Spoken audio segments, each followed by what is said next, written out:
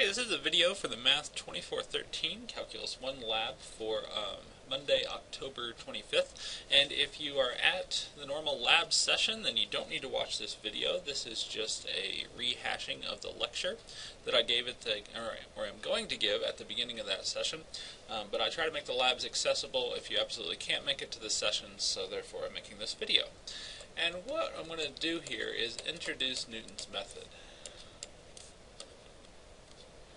This is an important um, this is an important application of derivatives. My computer had a hiccup there. Sorry about that. And my pen pad wasn't working for a second. So first I'm going to look at it graphically, and then we'll go through the, uh, the equations. And what Newton's method is going to do for me is compute the, or it's going to approximate the x-intercepts of a function. And I just need to be able to know how to take the derivative of the function and to calculate values for the function. So maybe my function looks something like this. Okay, so that's f of x. It's the graph of f of x. And what I would like to know is this, um, this x value here. Well, the first thing I do is I start off with a guess. And I'm going to put a guess way over here so that we can see a little bit of what's going on. And I'm going to call this x1. That's my first guess.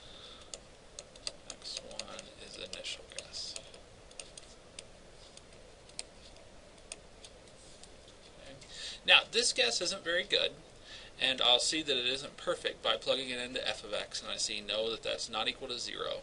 Um, so I'm going to update this and get a better guess. And the way I update is I draw the tangent line to the function at my first guess. Let me do this in a different color. Go green.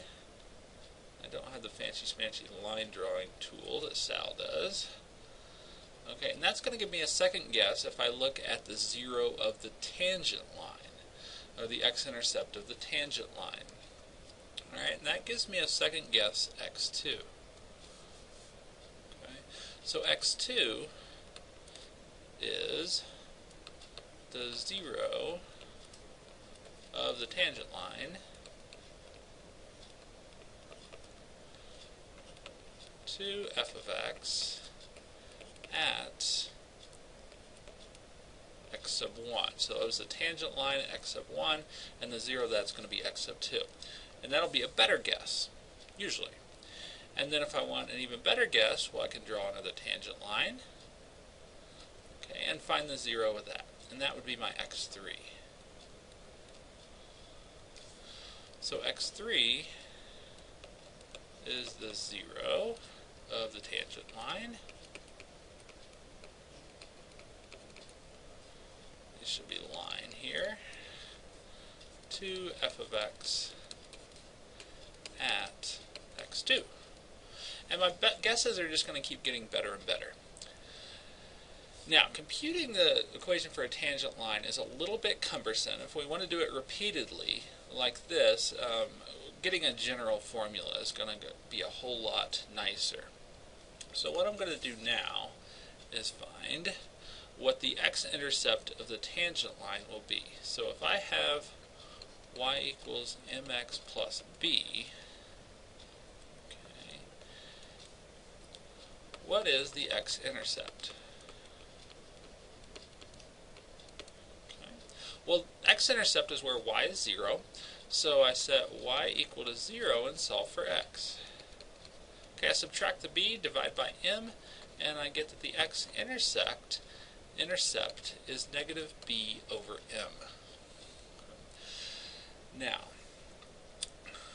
now for a function f, I'm going to compute the tangent line and then find the x-intercept of that tangent line. So the tangent line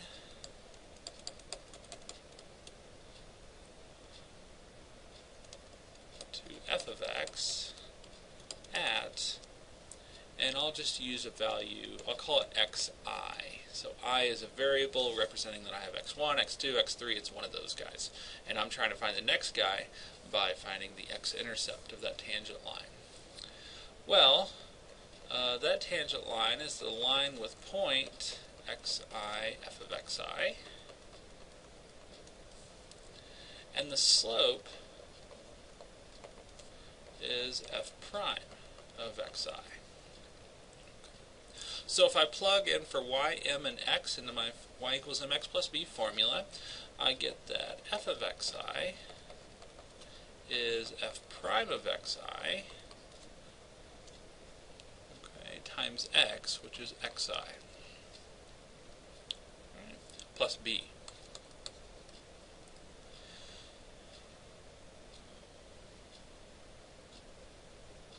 Now if I solve for b here, I get b equals f of xi minus f prime of xi times xi.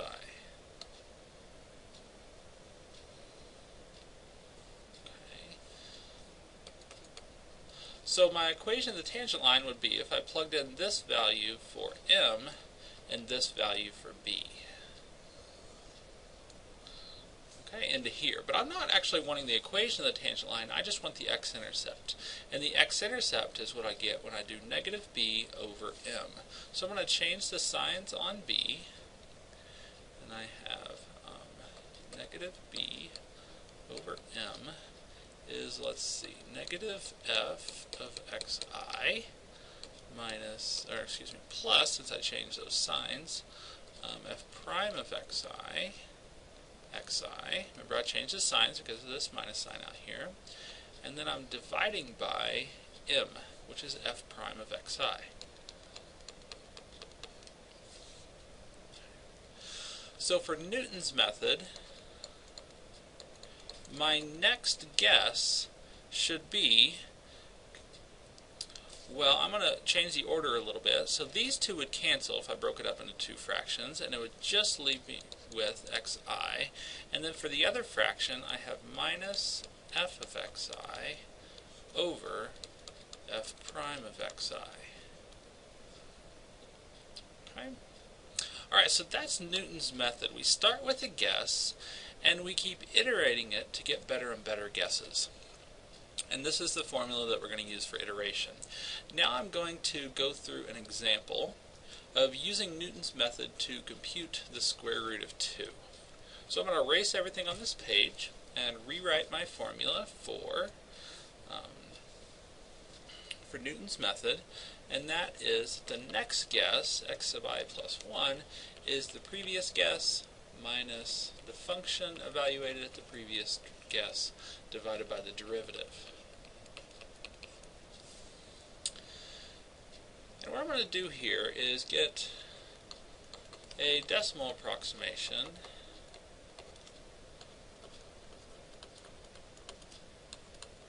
for square root of 2. Now, your calculator does not use Newton's method to approximate this. Instead, it uses the Taylor polynomials that we talked about last week. Your calculator does, however, use Newton's method to calculate zeros of functions. When you graph it and you tell it to go find the zero, uh, it uses a variate of what we're talking about here, a variate of Newton's method. And this is a nice, um, not too complicated example, so that's why we use it. Well, the square root of 2 is the 0, which means the x-intercept, of x squared minus 2. So it's the I should actually say it's a positive one. There's two of them, plus or minus square root of 2. It's a positive 0 of x squared minus 2. It's the number that if you plug this in, you get out 0. Okay. So, if I want to approximate this, I can use Newton's method since I'm trying to find the x-intercept, trying to find the 0. So I'm going to start off with an initial guess, and I'm to, it's going to be a bad guess. I'll start off with a guess of 2. Actually, I guess I've already got. No, I'll start off with a guess of 2. Alright? And now I need to figure out what function I iterate. Okay, so for my next one, what am I going to do? I'm going to take my previous guess, 2, and subtract the function evaluated at 2 divided by the derivative evaluated at 2. And what I'm doing there is finding the x-intercept of the tangent line. So this is my f of x.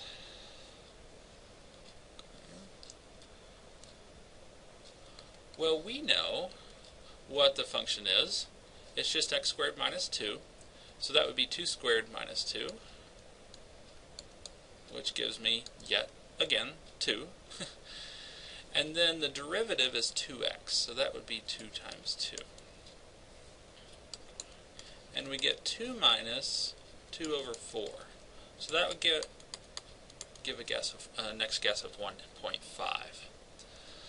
Now to iterate this over and over and over, um, I'm going to enter it into my calculator. So what are we going to enter into the calculator?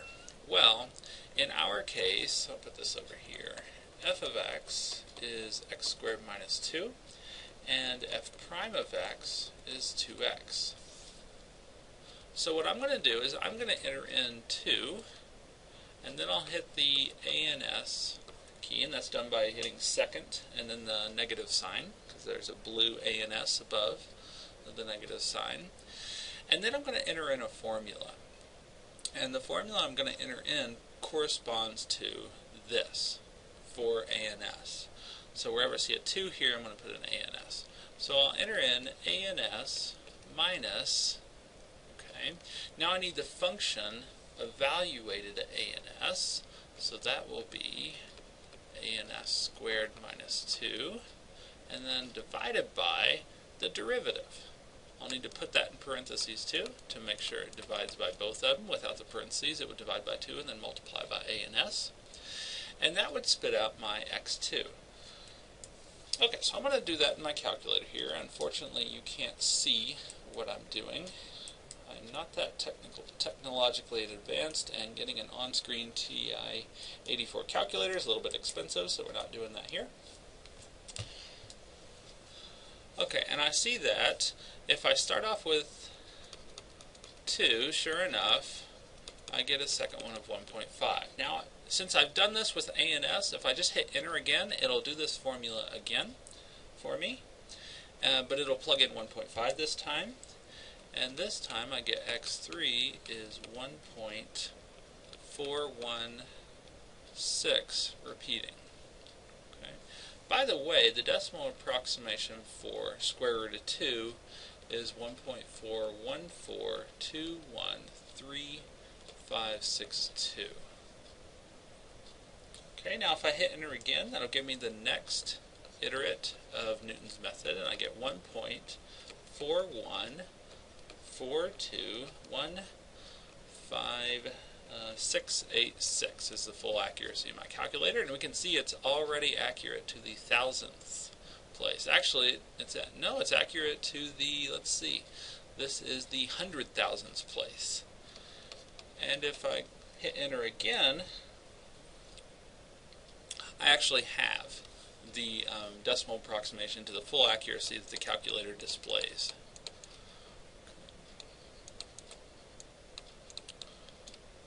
So even though I started off with a pretty pitiful guess for the square root of 2, it took only four iterates to end up with a 1, 2, 3, 4, 5, 6, 7, 8, 9 decimal place accurate answer, at least to 9 decimal places. Who knows, it might be accurate to more, but that's the most the calculator will tell me. Okay, so for Newton's method, you're going to study how this thing works in the calculate in the in the lab this week, and some of it you'll be doing by hand. Some of it will I'll actually have you do in the calculator, meaning I'll have you calculate zeros of functions. And we're going to see that sometimes the calculator behaves in a way that we do not understand, um, and that really is strange. Um, so you can do that in the lab, and um, I will see you in class on Tuesday.